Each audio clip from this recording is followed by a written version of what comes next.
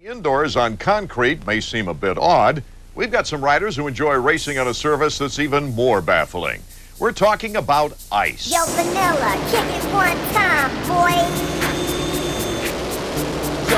The bike is capable of 0 to 60 in under 3 seconds, has 85 brake horse, and it runs on nitromethane fuel.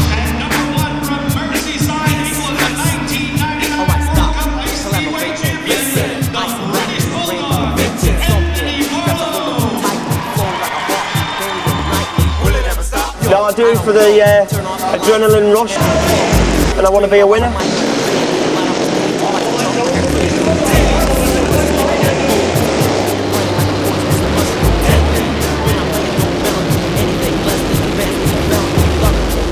Without people like Mr. Lace Metal Polish, road grade motocross clothing and goggles, and M2R helmets, the job would be a lot harder. Anthony Barlow, known on the racing circuit as the British Bulldog, is a two-time world champion.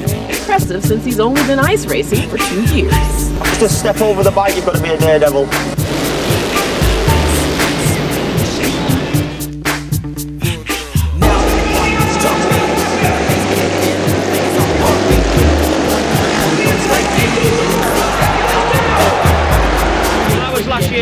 Champion and um, national American champion, and I got rookie of the year, so I got three titles. And you know, it's, brilliant to be number one in the world racing ice speedway.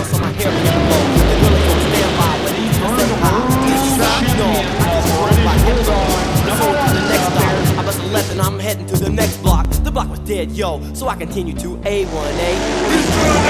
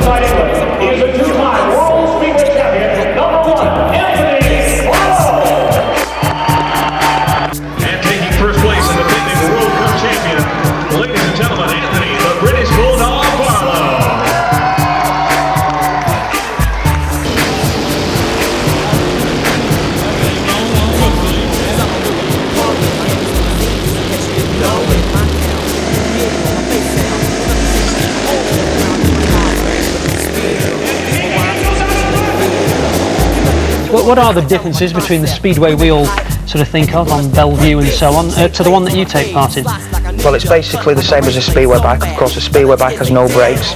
Uh, the only difference is, is the tyres, as you can see. Um, there's over 400 screws in the front one, there's 800 screws in the back one, and you adjust your screws to the different traction that you want on the motorcycle. Speeds of like 40, 50 miles an hour.